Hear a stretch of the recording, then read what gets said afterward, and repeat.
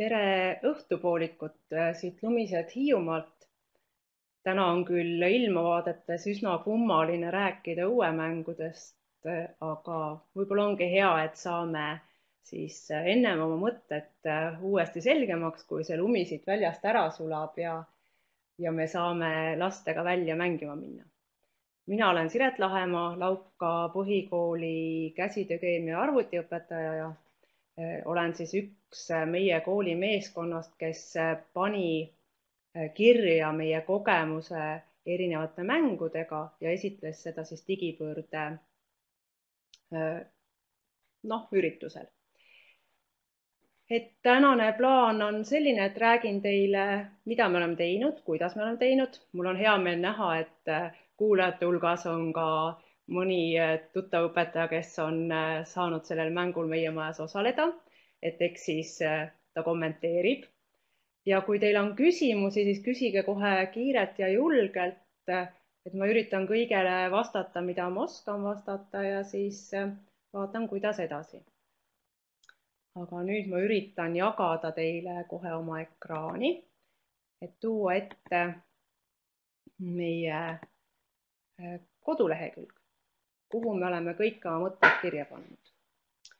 et nii nagu te siit äh, kindlasti ka näete, siis äh, Lauka koolis on äh, selline mm, erinevate mängude osa juba päris pikk traditsioon ja kui me alguses tegime neid nagu ainult majamängudena, siis järjest me oleme laienenud ja oleme siis oma jaoks lahterdanud mängud maja, õue ja matkamängudeks. et tehes siis vahet asukoha järgi, kus äh, majamängud on koolimajas sees, õuemängud ümber koolimaja ja matkamängud siis viivad kuhugile kaugemale. ja oleme selle juurde ära rakendanud ka tehnoloogia poole, et alustasime paberpastakas, ainult tulid siis juurde GPS-seadmed ja nüüd on äh, nutivahendid meile mängus. et miks me seda teeme? On ilmselt see, et äh, meil endal oleks huvitav. et lisaks sellele on kohe ka lastel hästi tore ja nagu ma palusin nendel äh, täna kirja panna, et äh, mida nemad arvavad nendest mängudest, siis esiteks tuli kõige sellisem rohkearvulisem vastus see, et, et saab teha huvitavaid ülesandeid, et ei ole ilmselt siis tavapäraselt kooli igapäevased ülesanded, mis on tegelikult ära peidetud siiasamastele nende ähm, mängude sisse. kuidas me seda teeme? me alustame alati oma mängude loomist sellest, et me paneme paika just nimelt asukoha, kuidas ja kus me seda mängu läbi viime. meil on kaasatud alati kõik õpetajad ehk äh, iga õpetaja mõtleb äh, oma ainest tulenevalt ülesandeid ja kuna meie traditsioon on ka see, et meie võistkonnad koostatakse läbi kõikide klasside ehk äh, võimaluse piires on igast klassist üks õpilane.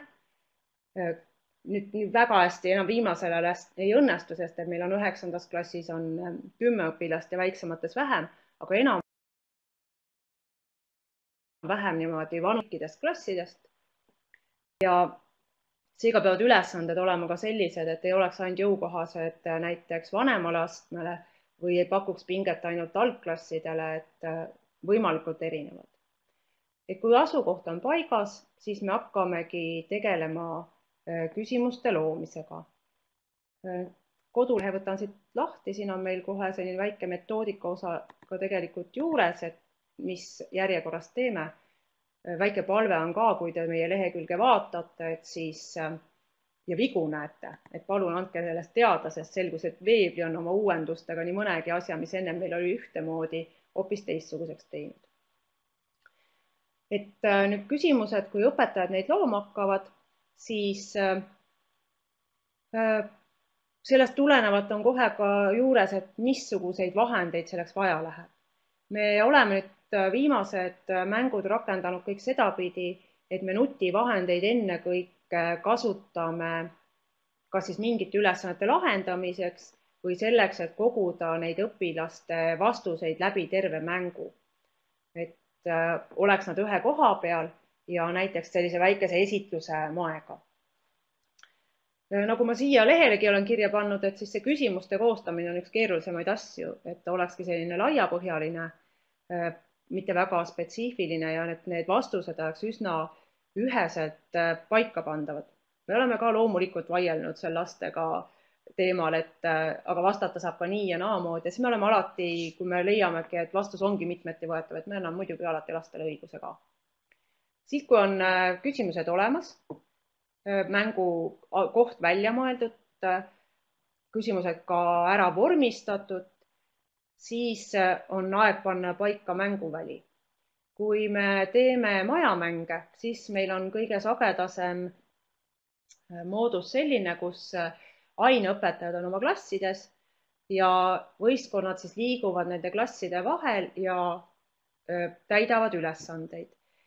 ennem me jagame nendele kätte näiteks kas QR-koodid, mille alusel nad peavad siis liikuma klassist klassi, kus on see järjekord. me oleme teinud ka niimoodi, et, et QR-koodi all on näiteks mingisugune mõistatus, mis annab viite, kuhu klassi peaks järgmisena minema ja, ja sedasi õpilased liikuma pannud, et täiesti erineval moel seda lahendanud.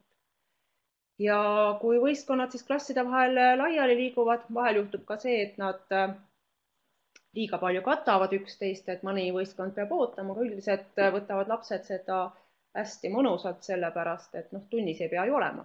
peamine on see. Ja võistlus läbi viidud, kogunetakse jälle kokku, antakse vastused ära ja siis väikese ajavaruga on see, kuidas me need küsimuste vastused kokku võtame ja siis alati on ka mingisugune auhind.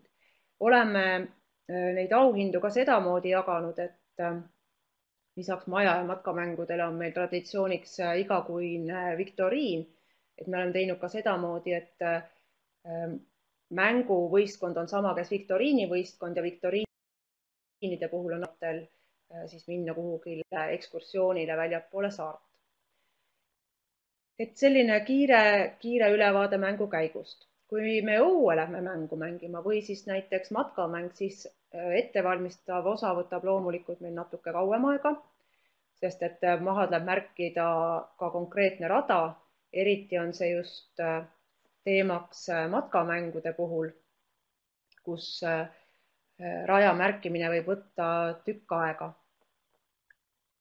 näiteks äh, viimane majamäng oli meil või matkamäng oli meil selline, kus äh, äh, lühem rada oli neli kilomeetrit ja pikem rada oli viis kilomeetrit, et ennem me siis sõitsime need läbi ja panime paika.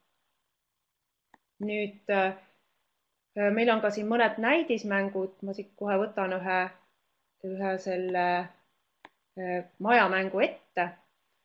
Me ei mängi neid mänge ainult siis sellepärast, et meil oleks Äh, lõbus ja õpilastel oleks lõbus ja meil oleks teistmoodi. ja et äh, kui küsimusi koostame, siis tegelikult on seal taustal ikkagi ka õppekava ja neid õppekava läbivad teemad või, või õppekava natuke kontrollivad teemad. et äh, siis eesmärgid meil ei ole jah, ainult lõbu küll, pean ütlema. siin selle majamängu puhul olid lastele ülesanneteks QR-koodid Eh, mille alt nad siis need küsimused pidid välja võtma ja, ja siis pärast vastused ka paika panema. ja vastuste korjamiseks kasutasime Lenso äppi, kus,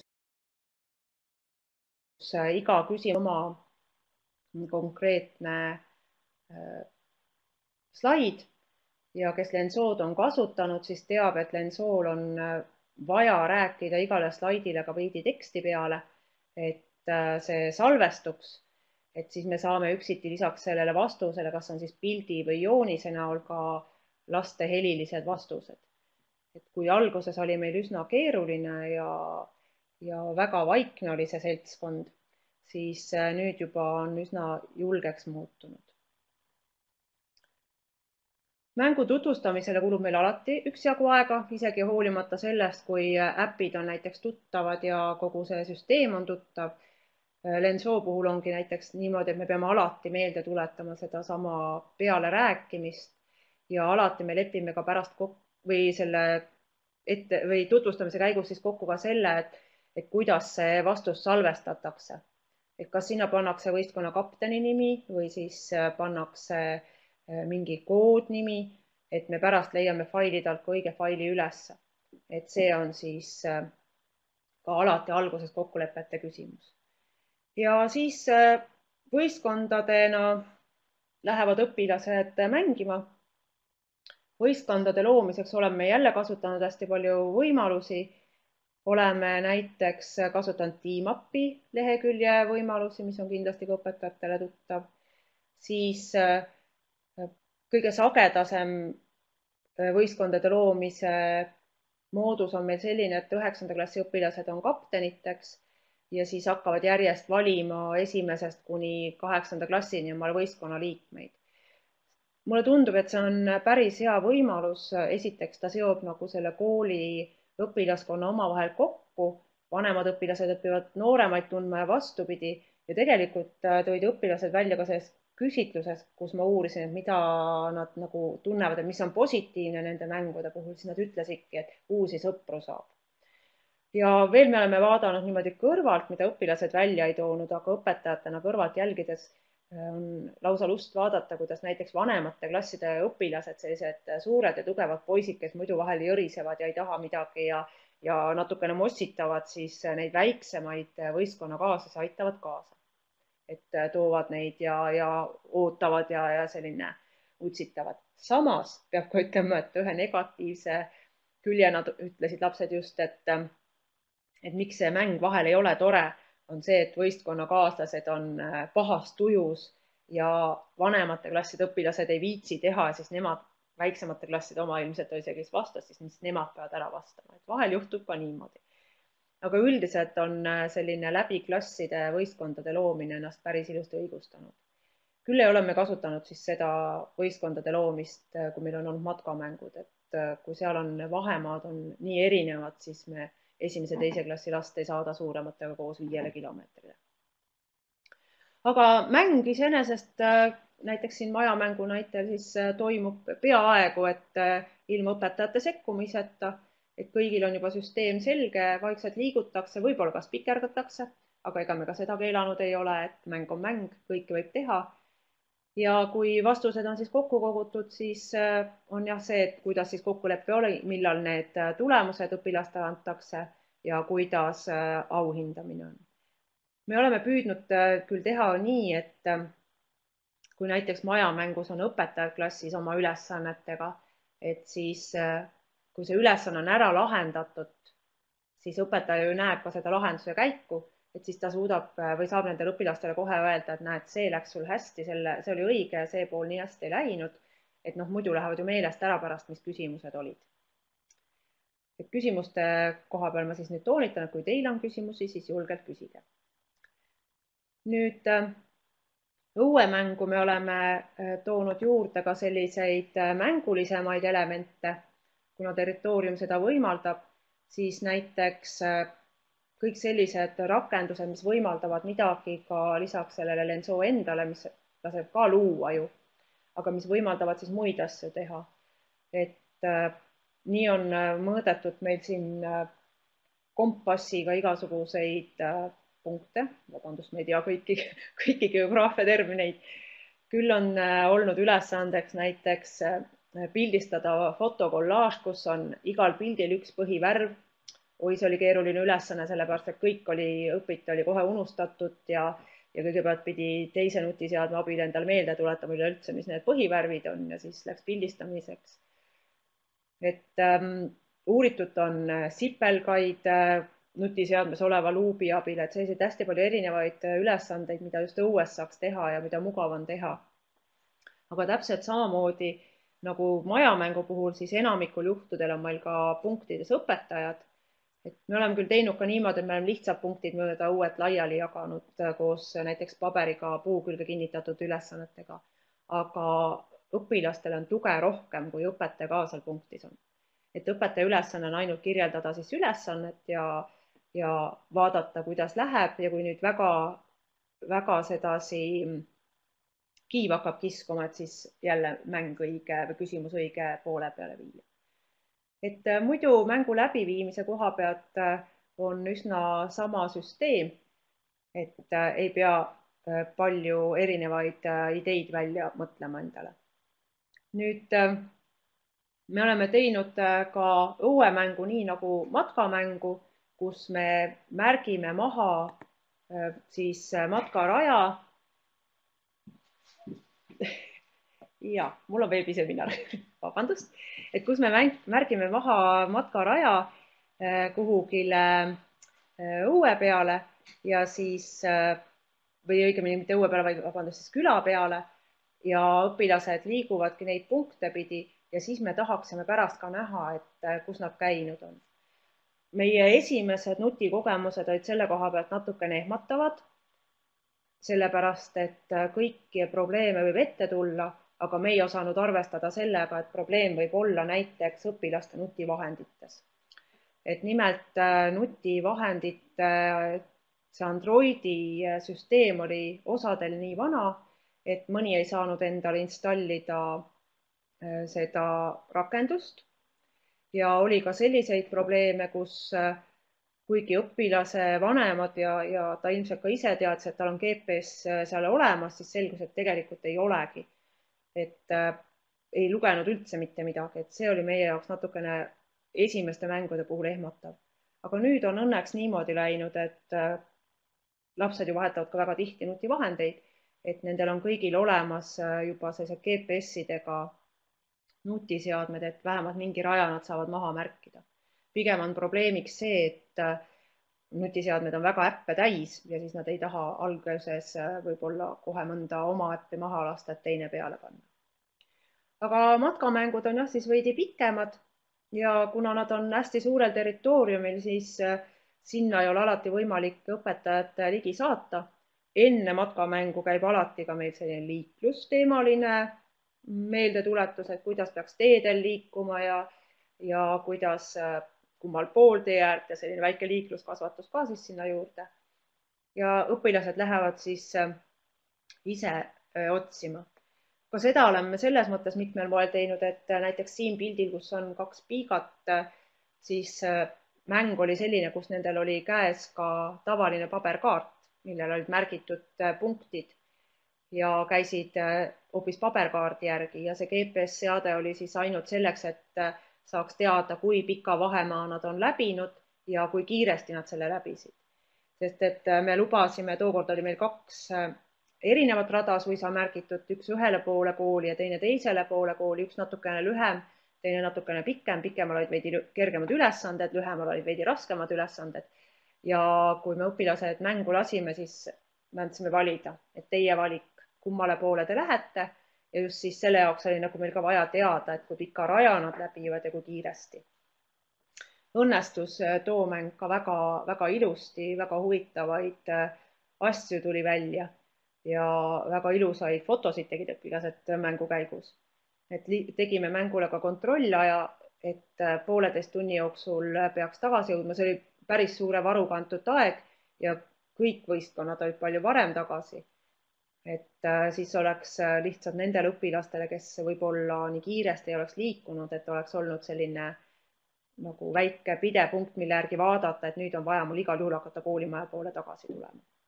ja selleks, et ei oleks need õpilased äh, väga üksteise või et võistkonnad ei läheks suure massina koos, siis me stardi andsime ühe minuti järgi ja tegelikult see toimis väga ilusti, see eelmine võistkond jõudis eest ära minna, enne kui järgmine juba peale tuli, et et ka seda poolt siis saab vaadata. ja kontrollisime kohe mängujärgselt üle need äh, ajad ja teepikkused, et nagu siin lugeda ongi, et äh, üks võistkond jooksis näiteks mõlemad pooled läbi ja sai tegelikult äh, kokku seitse kilomeetrit, kuigi kui nad oleks teinud nagu nii-öelda mäng ja mäng, siis oleks pidanud kilomeetreid rohkem tulema, aga nad olid juba kavalad ja võtsid kaardi järgi ja, ja oskasid enda raja niimoodi mugavalt ja kiiresti paika panna et äh, matkamängud sellisel moel. aga lehel on meil veel lisaks äh, näidismängudele ka küsimuste pank. et me oleme neid küsimusi siis, nagu ma juba siin mainisin, ka natukene erineval moel äh, lahendanud. et kui majamängu küsimused on esimesest üheksanda klassini ja ka õuemängu küsimused ja ülesanded on esimesest üheksanda klassini, siis matkamängu omad võivad olla veidi keerulisemad, kuna seal on vanemaste ja nooremaste eraldi. Äh, küsimuste loomisel oleme püüdnud siis äh, no kõiki erinevaid võimalusi kasutada, et kuna siin natuke rohkem kui aasta tagasi ilmus hiiu keele sõnaraamat, siis me oleme hästi palju sõnaraamatu ülesand- või hiiu keele ülesandeid teinud, kus on vaja siis kas niimoodi nagu pildil näha on, et ühenda pilt ja paariline sõnaga või kirjuta tähendus, siis äh, igasuguseid selliseid joonistamise ülesandeid, mida Lenso äpp väga hästi lubab teha, et kus on vaja siis vastus joonistada. Äh, kuna Lenso jälle Lenso on meie lemmikäpp praegu selle mängude puhul, siis oleme keeleharjutusi teinud erinevaid, siin on näidisena, kus äh, eesti keel või inglise keele ja vene keele õpetaja tegid sellise segapudi teksti ja siis lapsed pidid selle ära tõlkima ja siis häälega tõlke salvestama näiteks, et et selliseid erinevaid, äh, erinevaid ülesandeid. kui meil oli kooli aastapäev, siis me oleme ka seal oma vilistlastega seda mänginud ja selle selle mängu jooksul tekitas kõige rohkem elevust äh, siis võistkonna selfie tegemise ülesanne, et äh, oli selline aeg, kus neid, neid selfie keppe veel nii paljudel inimestel ei olnud ka, et siis nagu pildiltki näha on, lustisid mängijad kohe mõnuga sellega, et kuidas saaks ikka kõige parema pildi. Et selliseid hästi erinevaid võimalusi lihtsate ülesannetega, võtan siit korraks ka näiteks, kas meil uue mängu ülesandeid näha on.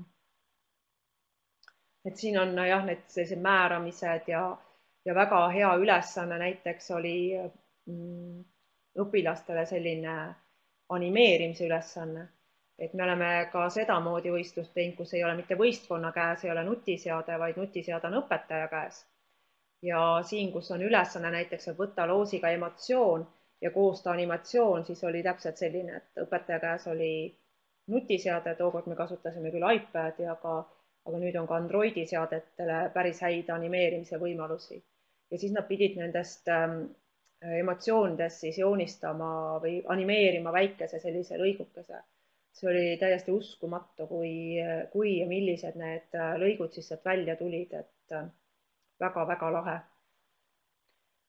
ja, ja noh, teisel juhul siis ka selline jälle see Lenso põhimõttel, et iga eraldi võistluspunkt on vaja eraldi slaidina vastusena salvestada, et siis selliseid ülesandeid on, on ka tulnud. et kõikide, kõikide nende peal koos. siin ei ole meil QR koode kõrvale piltidena lisatud seetõttu, et äh, kuna erinevad tegijad võivad erineva koodi genereerida, et siis on vaba, vaba võimalus kasutada. nii ja matkamängu ülesanded olid, kuna seal ei ole ka õpetaja juures, kes selgitab asja, siis selle võrra olid natukene äh, lihtsamad võib-olla nagu noh, kujundada või paika panna, aga kindlasti vajasid nad seal kohapeal ka sellist äh, uurimist ja toimetamist. et äh, mõnes punktis näiteks õpetaja oli, et kus see jõe voolukiiruse ülesanne on, seal oli näiteks füüsikaõpetaja ja nendele klassidele, kes ei olnud veel näiteks äh, loodusõpetusest õppinud või kes ei olnud ära unustanud, siis ta sellise väikese kiire õpetuse tegi sinna juurde ja paadid aina siis, laevukesed aina seal ujusid ja mõõdeti nii, et vähe ei olnud. et ja mõned on siis sellised lihtsad teadmistepõhised, äh, näiteks Euroopa naaritsaama. Äh, selle mänguga oli tookord hästi vahva lugu, et kui me lasime õpilased välja sellele matkamängule siis me teadlikult, me arutasime ka natukene seda õpetajatega omavahel, aga me teadlikult ei maininud seda, et, et spikerdada ei tohi, sest me lootsime, et tegelikult äkki nad ikkagi võtavadki selle nutiseadme, kui nad vastust ei tea, et otsivad. ja siis, kui nad tagasi tulid võistlustelt, siis olid sellised ära seletatud näod olid peas ja ühe võistkonna õpilane siis ei pidanud vastu ja ütles, et tead, õpetaja, me tegelikult spikerdasime ka, me võtsime Google'i ja otsisime sealt. meil oli jälle hea meel, et tegelikult me ju seda mõtlesimegi, et vahel tuleks otsida ka ja osata siis nutiseadet sedapidi kasutada.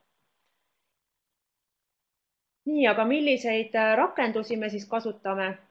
nagu äh, siit eest tulevad küll kohe kaks, äh, sellist tuntumat rakendust, millega saab seiklusmänge luua.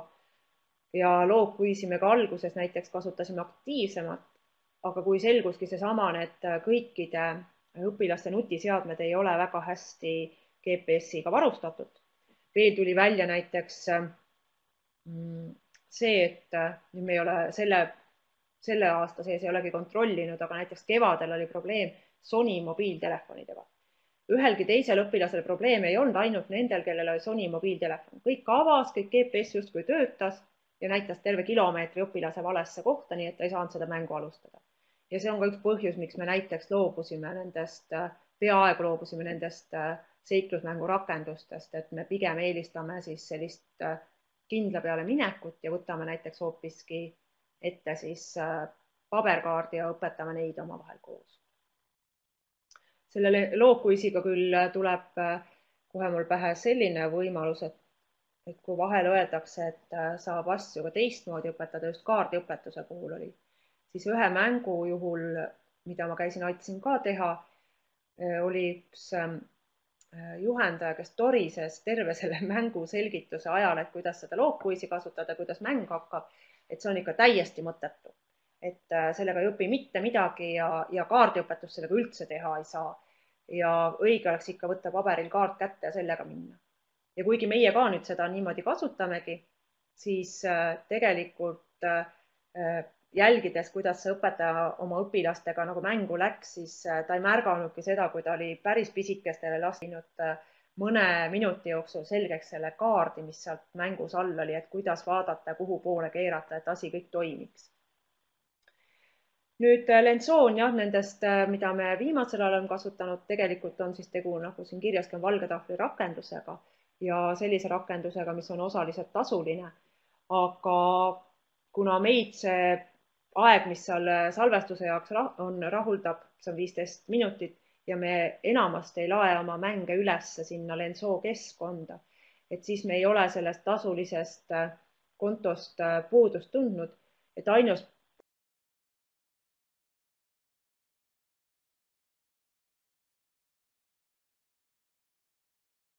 ongi, et me Mm, füüsiliselt oma kehaga või näitemänguga näitama ja selgitama hiiukeelseid sõnu. ja siis oleks küll olnud väga-väga lahe, kui nad oleks saanud sellest video teha. aga, aga me ei tundnud sellest ka selles mõttes puudust, et tegid pärast foto ja, ja oli ka päris vahva, et, et sai hakkama. ja tore on see, et Lenso on olemas siis äh, nii Androidile kui äh,, kui iOS-ile ja juhend on koolielus olemas, et kindlasti tasub vaadata ma tean ka seda, et äh, koolielus kohe tuleb sellest äh, Lensoost ka pikemalt juttu vist uue kuu alguses. Endomondo asemel võiks olla ka muidugi vabalt mõni teine rakendus, mis võimaldab siis sportlikku saavutust äh, või, või vahemaad määrata. aga meie oleme võtnud siis just kuidagi selle rakenduse, et ta salvestab kaardile siis liikuja asukoha ja mõõdab ära siis need vahemaad ja aja Äh, oleme saanud täiesti hästi sellega toime. aga seal võiks olla ka vabalt äh, Runkeeper või mõni muu sobiv rakendus. Äh, natukene, mida meil siin juures eraldi me ei ole kasutanud, aga mida me muidu oleme küll väiksematega proovinud, on siis need erinevad GPS kunsti salvestamise võimalused. seda saab tegelikult ju teha ka Endomondoga. aga et siis on ka selline väike vahva rakendus olemas nagu figure running, millega saab siis äh, joonistada. meil on äh, selles mõttes siin küla vahel natukene kahju, et meil ei ole tänavaid, mille pealt saaks selliseid äh, kavalamalt joonistada, aga küll me oleme siin koolistaadionil ja kooli ümbruses jooksnud. QR-koode kasutame ka ja kuigi meile endale tundub õpetajatena juba, et me oleme neid natuke liiga palju kasutanud või liiga sageli ja meie hakkame juba ära tüdinema, siis õpilased tõid, äh, kui ma küsisin, miks nendele siis meeldivad, õpilased tõid küll välja selle, et nii lahe on, et saab koode, koode lugeda ja see on hästi-hästi mõnus, et, et siis äh, eks me kasutame edasi. et QR-koodide puhul siis äh, on vaja nii seda, millega QR-koode luuakse, meie oleme kasutanud siis siin lehel olevat veebilehekülge, aga on vaja ka siis seda rakendust, millega seda loetakse ja neid on nii Androidile kui Apple'i seadmetele hästi palju erinevaid, lihtsalt tuleb oma lemmik leida.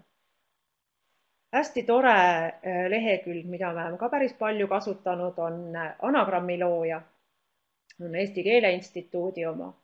Ja need ülesanded on alati hästi naljakad olnud ja, ja tekitavad elevust, et äh, selline hästi tore ja lihtne lehekülg, tõeliselt hea ka niisama tunnis kasutada nüüd äh, nagu ma ütlesin, et vahel me oleme kasutanud animatsioone, siis äh, iPadi äppidest on hästi lihtne ja loogiline lastele kergelt arusaadav äh, loop animation.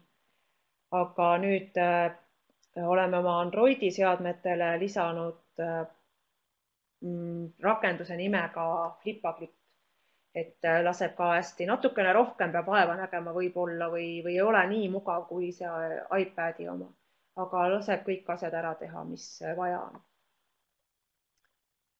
ja äh, natukene on nendel teemadel Eestis ka tegeletud ja siis siin äh, vajalike viidete all ongi meil nüüd, nüüd äh, välja materjalid, kuna lehekülje me koostasime eelmisel sügisel, siis võimalik, et nüüd on mõni koht juba juures, mille võiks siia lisada. aga toetavad siis seda kogu seda maja, matka ja õuemängude teemat kindlasti Katri Mirski loodud äh, geograafiatunni äh, materjalid M-õppe geograafiatunnis. et mida kindlasti tasuks ka lihtsalt õpetajatel, isegi kui ei ole soovi majamänge või matkamänge mängida, et kasutada, siis me oleme ka varem ühe korra salvestanud oma matkamängu GPS-seadmetega, kus me kasutasimegi selliseid väikseid GPS-e millega joosti küla vahel, et see video on ka kättesaadav. ja siis muidugi koolielu töövahendid, kus aeg-ajalt tasub uurida, et milliseid nutikaid rakendusi annaks näiteks nendesse mängudesse siduda. noh, alustades siis kasvõi nendest samadest lensoodest või lookuiisidest ja lõpetades siis nende pisikeste rakendustega näiteks pildi töötlemiseks või kollaažide loomiseks või, või müra mõõtmiseks näiteks, et, et see on ka täiesti ammendamatu varaallikas et äh, see on meie veebilehekülg, ma ei ole teile selle veebilehekülje linki üldse veel pannud, aga ma kohe postitan siia vestlusesse. et kus saab siis äh, äh, meie andmed kätte. nüüd keegi ei ole küsinud midagi, et küsige julgelt.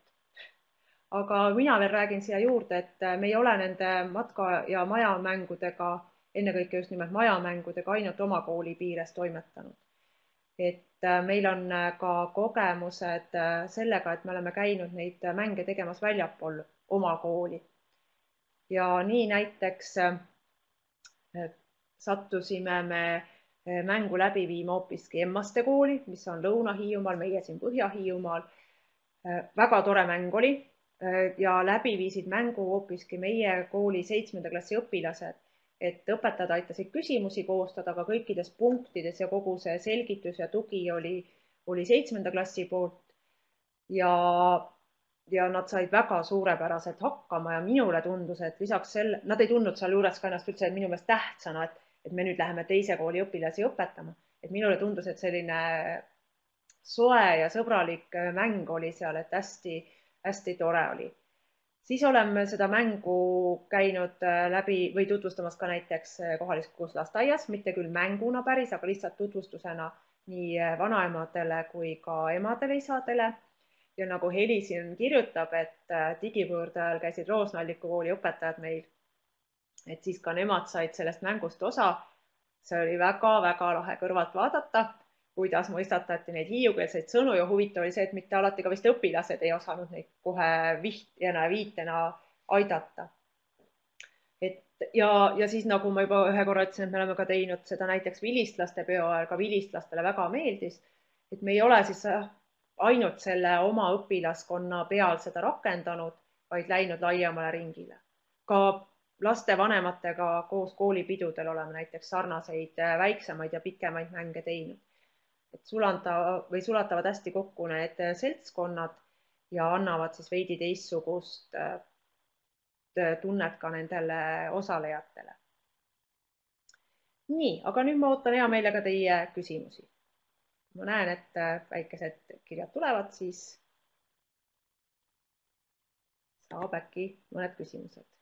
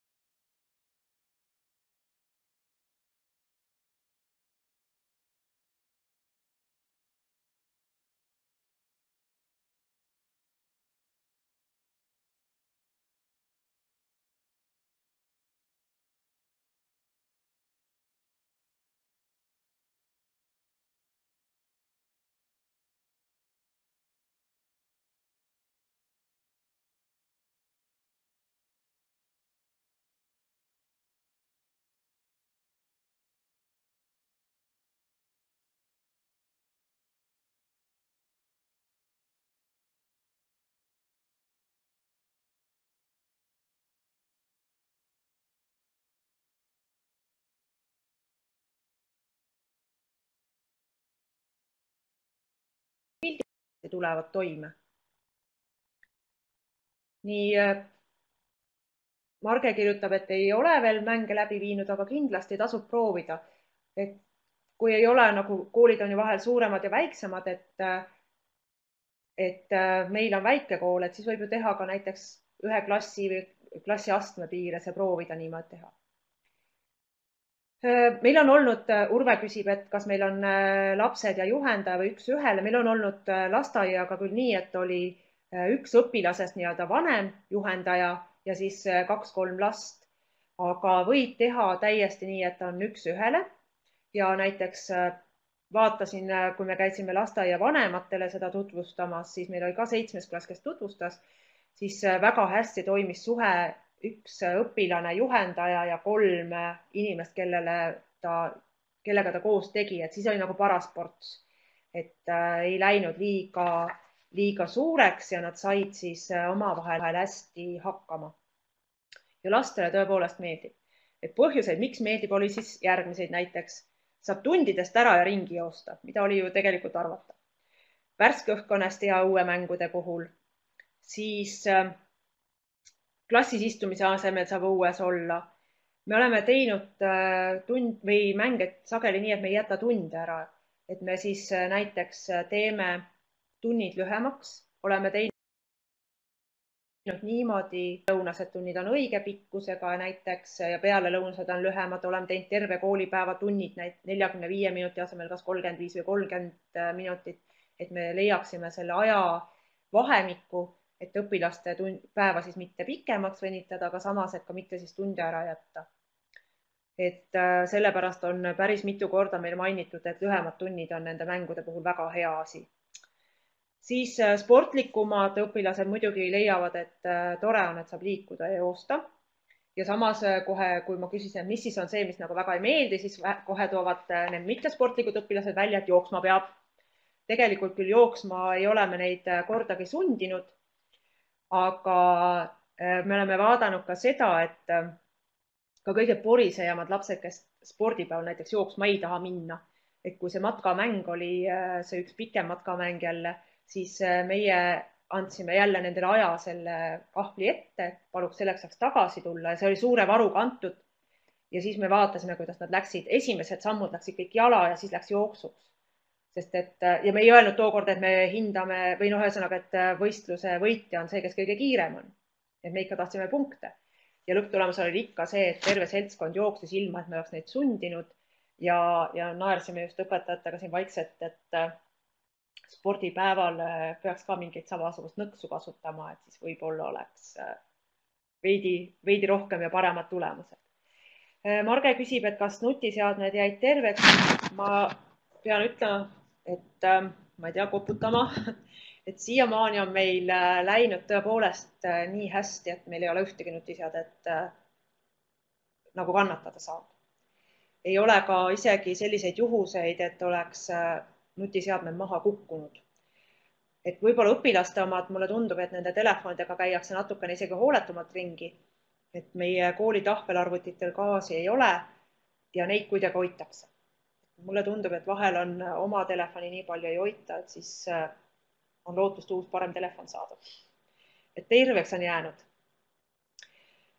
jah, et Marge kommenteeribki, et hea, et koolis kardetakse iPadide pärast, meil on ka neli iPadi ja ka nende puhul on, need on meil nagu varem juba olnud ja pikka aega ja tegelikult ei ole, õnneks ei ole nagu probleemi.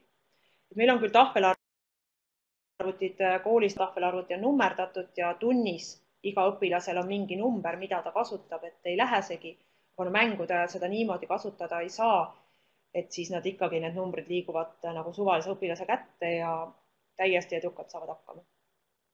et meie ei ole kartnud neid lasta nendega küla vahele jooksma, et tulevad tagasi küll. nii, et kuniks veel mõni küsimus siia tuleb, siis et mis siis negatiivse poole pealt veel välja toodi, et ilmselt seesama matkamängude puhul on toodud välja see, et vahel on liiga pikkade vahemaadega ja, ja järgmine on, et vahel on liiga külm ilm. et äh, oleme teinud selliseid, äh, just vaatasin äh, eile tuletas mulle Facebook mulle meelde, et, et me olime käinud novembri alguses kaks aastat tagasi jooksmas ja oli imeilus ilm ja praegu vaatab, väljas on paksud hanged ja, ja traktor lükkab teid lahti, muidu liikuma ei pääse, et, et vahel tõesti ka isegi see kuiv ja, ja enam-vähem temperatuuriga ilm on õpilastele liiga niiske ja jahe, et siis tuleb meelde tuletada, et müts võiks peas olla juba enne, kui mängu, mängima minnakse. Et õpilaste vanemadki teavad, et nüüd võiks mütsi pähe panna. ja siis äh, äh üks õpilane on meil toonud ka välja selle, et miks ei ole need majamängud head, et kui meie leiame, et on hea, et me lühendame tunde ja ära midagi ei jää, siis õpilased vastupidi ütlevad, et jama on see, kui tunnid ära ei jää. et noh, muidu mängiks ju küll, aga kui tunnid ka on, siis ei ole väga-väga hea. et äh, selliseid on nagu nende selline positiivne ja negatiivne pool siis sinna juurde. aga me ise oleme rahul, meile tundub, et need äh, teemad ja küsimused, mida me oleme niimoodi lahendanud, on äh, leidnud nagu ka sellise õpilaste poolt positiivse osa ja äkki need on ka paremini meelde jäänud. igastahes näiteks veeteemasid, mida me oleme seal puudutanud, olen mina küll märganud, et äh, need asjad, mis on võistlustel mängudest läbi jooksnud, need asjad tunnis tulevad kergemini meelde. nii, äh, tundub, et tuleb veel küsimusi et kuidas äh, teie mängudega lood on, et Marge kirjutas, et ei ole veel mänginud, Heli ütles, et äh, mängud on juba, juba ka koolis kasutusel, et ma tean, et ka digipöörde raames äh, kasutasid nii mõnedki koolid just võimalust luua oma kooli ümbruses erinevaid mänge, et et siis saab nende kogemusi ka vaadata, et kui lingid ma üles leian, ma lisan nad kindlasti meie mängule ka. aitäh, Urve, et kui meie leheküljest on nii palju abi, et äh, selle abil saab ise mängu loomisega hakkama, siis oleme teinud õiget asja. et meie kogemused jah, või sellised äh, teemad on äh, juba pikka aega on, küll on mul kindlasti soovitus, et kui te hakkate mänge looma, siis tehke endale kuhugile kas kaust või midagi, kuhu te panete kõik küsimused kirja, sest lapsed ju vahelduvad ja, ja alati ei ole või vahel on nii head küsimused, aga kui kohe kõiki kirja ei pane ja ei talleta ajaloo huvides, siis äh, varsti on nad meelest läinud, et et kindlasti tasub luua omale ka selline väike arhiiv, kuhu neid koguda. ja mängude nende tehniliste vahendite poole pealt, et siis julgustan kindlasti aeg-ajalt vaatama äh, koolielu neid äh, töövahendeid, et seal on hästi lihtsaid ja ka alternatiive ja nüüd just oli küsitlus, mida Ingrid Maadvere läbi viis, et äh, kuidas, äh, millised lemmikäpid on, et sealt leiab ka. Koidu kommenteerib, et äh, algklassidega loobkuis juba kevadel orienteerumismängu. loobkuis on väga hea tegelikult iseenesest küll orienteerumise õpetamiseks, et kui ei vea nutivahendid alt ja, ja sellist tahta ka kaardiõpetust nii-öelda selles vahendis korraga teha koos mänguga, siis loogkuis kindlasti on hea vahend. Ja kes ei ole loogkuisi kasutanud, siis loogkuisi arendajad on eestlased. et kuigi lehekülg on üsna inglisekeelne, aga kui on mingid mured, siis tasub nendele kirjutada, nad on väga kiired vastama et ainus probleem jah, miks meie seda nagu nii palju enam ei kasuta, oligi just see tehniliste vahendite pool, et need äh, hakkasid meil niimoodi, noh, ei toetanud meie mänge alati. et just nimelt äh, Sony telefonid olid, et kui te mängite ja teil mõni laps ütleb, et ma ei saa sinna õigesse kohta, et mäng ei avane, siis vaadake, mis marki telefon on, et võib-olla sellised vanemad Sonyd on just need probleemi allikad aga, aga uurida tasub ja see teine mängude, sarnaste mängude loomise keskkond on Action Bound, et ka seda tasub siis katsetada, et, et annavad sarnase tulemuse. nii, ehk tuleb veel küsimusi, mõtteid? Kuidas teistel on mängudega läinud? ja kindlasti ei tasu siis jah mõelda, et kuigi ma ütlen, et täna on paksud hanged, et kui väga lühikene mäng teha, et miks mitte ka talvel välja minna. et väga pikalt, kui külm ilm on, siis võib-olla hästi ei õnnestu, et jälle need tehnilised vahendid ja need akud ei taha hästi vastu pidada. aga eh, miks mitte kuidagi sedasi siduda või näiteks võtta alla selle GPS joonistamise mäng ja proovida siis eh, joonistada näiteks kas enne kaardile mingisugused kujundid ja pärast joonistada lume sisse õpilaste abiga needsamad kujundid GPS-i abil, et ka selliseid äh, vahvaid võimalusi saab ju talvel väljas ära kasutada. aga meie oleme pigem teinud nii, et äh, kevadel ja sügisel siis äh, õue ja matkamängud ja, ja talvisel ajal siis pigem nagu majas sees. ja tihti kasutame me neid just veerandi lõpu mängudes. et kuna ma ütlesin, et meil on ka need viktoriinid, igakuised viktoriinid, mis kevadel lõpevad siis sellise suure üldkokkuvõttega et vahetevahel me oleme teinud näiteks veerandi viimasel päeval ühe viktoriinipäeva, vahel me oleme teinud siis majamängude päeva, et, et kuidas siis täpselt äh, sujub. ja selle eelmise veerandi lõpus meil olid mõlemad. oli nii viktoriin kui pisikene majamäng ka ülesannetega, kusjuures seekord me lahendasime veel asja niimoodi, et võistkonna kaptenid ei olnud mitte üheksanda klassi õpilased, vaid kaptenid olid õpetajad ja, ja mängu koostasid ja viisid läbi hoopiski õpilase omavalitsus ja õpetajate tagasiside oli ka väga positiivne, et seal oli palju asju, mida õpetajad ei teadnud ja väga selline uhke. Urve küsib, et kas meil on üks koordinaator, kes mängu kokku teeb. tegelikult kui me ei kasuta näiteks loogkuisi, kus on vaja nagu ühte koordinaatorit või õigemini on mugavam, kui üks koordinaator teeb, siis kogu see küsimuste loomine ja kuhu punktid tulevad ja ja kõik see on tegelikult ikkagi meeskonnatöö ehk äh, kõik õpetajad, kes meil on, kõik äh, õpetajad ka osalevad. et, äh, et kui ei ole isegi võib-olla kohe näiteks ta laua ääres ütlemas, et ma tahan oma punkti sinna, siis küsimus igastahes tuleb, see õpetaja on seal pärast seal punktis ka ja, ja ikkagi on see nagu meeskonnatöö.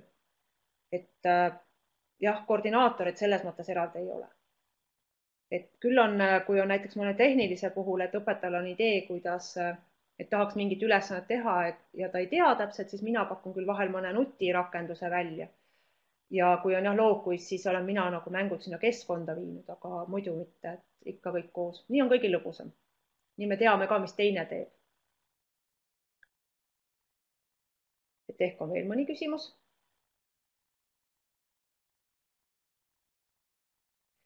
tundub, et äh, praegu vist küsimusi ei tule. aga äh, minuga saab kontakti, äh, kui tekivad hiljem küsimused. seal meie kodulehel, mängude kodulehel on kontaktikast ja sealtkaudu saadetud kirjad peaks teoreetiliselt minuni jõudma. ma arvan, et ka praktiliselt, et sealtkaudu saab kirjutada ja tegelikult võib mulle ka meilile kirjutada et siis äh, kirjutan meiliaadressi ka kohe siia. et siis, kui ma oskan, siis ma kindlasti vastan või äkki tean kedagi teist, kes oskab, et nüüd on juba neid koolid äh, rohkem kasutavad, et siis äkki on kogemusi ka rohkem. et hetke annan veel aega küsimusi mõelda.